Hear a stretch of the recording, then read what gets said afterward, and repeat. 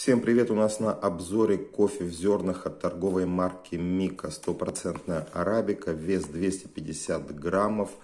Покупал на Валбере, стоила упаковка чуть более 300 рублей.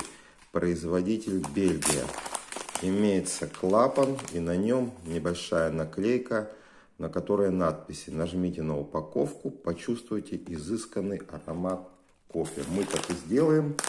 Действительно, кофе пахнет, но это не вызывает удивления. Наоборот, было бы неожиданностью, если бы никакого запаха не было. Итак, открываем упаковочку. Сейчас камеру подправлю немножко, наверх подниму.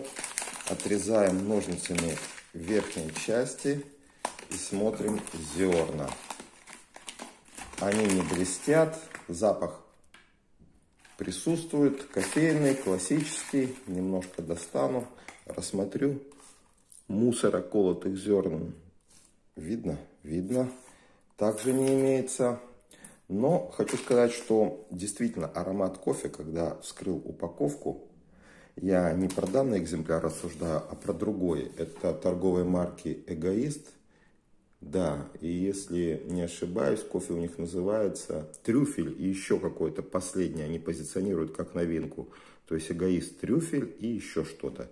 Там действительно пачка как надутая выглядит. Кофе по ощущениям, может быть из-за новинки, действительно, что оно свежее. Открываешь и на таком расстоянии ощущаешь богатый, изысканный аромат кофе.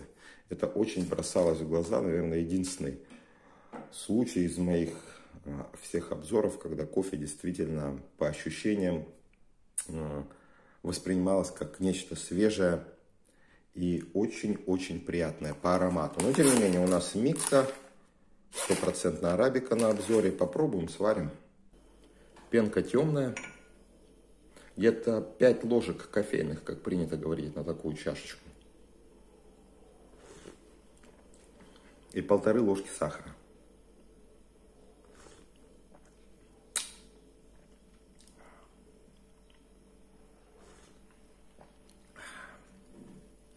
Мягкий кофе, по крайней мере, мне так показалось, но тем не менее с явными, с явным намеком на то, что это действительно кофе. Есть э, аромат вроде мягкий, и также ощущение складывается, что кофе водянистое слегка.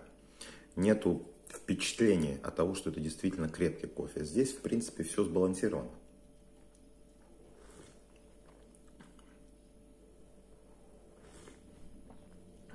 Ненавязчивый в то же время, но кофейность требуемая ощущается.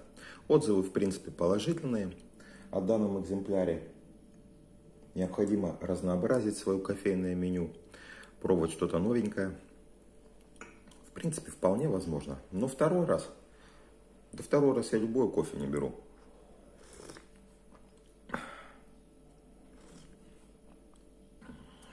Хорошо, вкусно пойдет. Ладно, держим связь.